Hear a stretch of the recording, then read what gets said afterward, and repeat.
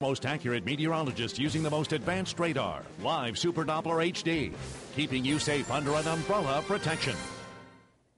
Welcome back on Thursday afternoon to you. Starting out with some sunshine with this view from the airport sky cam. Had some clouds around early this morning. Those have since pushed well off to the east for us, though. Temperatures, they're warming up pretty nicely. We're already up to 39 degrees with the help of all that sunshine. Didn't expect it to come out so early, so temperatures are turning out to be pretty good this afternoon. We're looking to get into the lower 40s in a few locations. The winds are calm right now, and the wind chill not going to be a factor, obviously, with the calm winds. The dew point's up to 20 right now. That's a little higher than it was earlier this morning. Temperatures off to the north, a little cooler. They're uh, seeing a little bit more in the way of cloud cover up towards Fort Dodge, 34 degrees, only in the upper 20s in Mason City. Waterloo as well, 36 Ottumwa, and already in the low 40s as you head towards Lamoni. So clear skies for the southwestern half of the state. More clouds off to the north, some snow showers off to the east. Had a few flurries here in the central part of the state early this morning.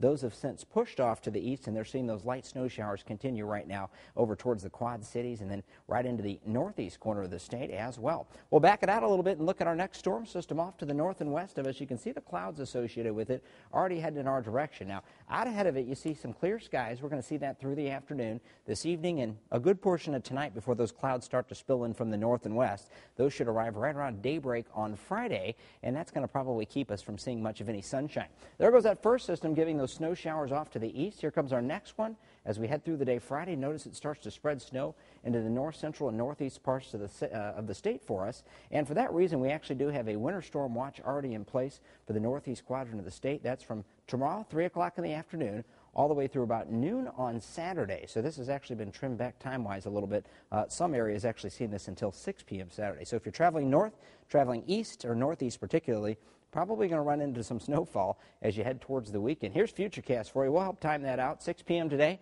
just a few clouds around. We'll continue to see those just disappear through the overnight period.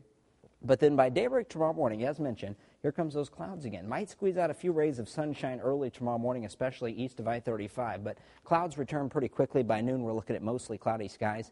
And then into the afternoon hours, you're going to start to see that blue. That indicates snow showers. So north of Des Moines, into the afternoon, we're looking at some light snow showers. Those are going to continue for north central and northeast parts of the state right on through Friday evening and Friday night. Notice dry for Des Moines for a good portion of that uh, period and anywhere south of there as well. However, as we head towards early Saturday morning, notice 3 in the morning still snowing off to the north and east. That's why they're under that winter storm watch.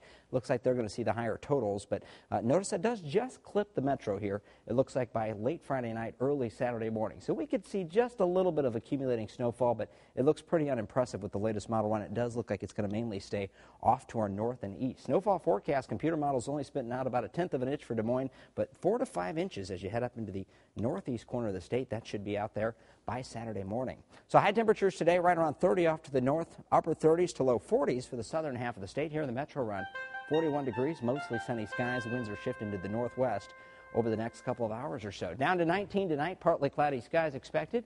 As we head into the five-day forecast, we're looking at 33 on Friday. Cloudy skies return. May see a little bit of early day sunshine. And then as we get into Friday night, it's our best chance of seeing snow, again, especially north and east of Des Moines. Saturday's high only 29. Sunday we're up to 25 and only 24 Monday. So very cold behind that system.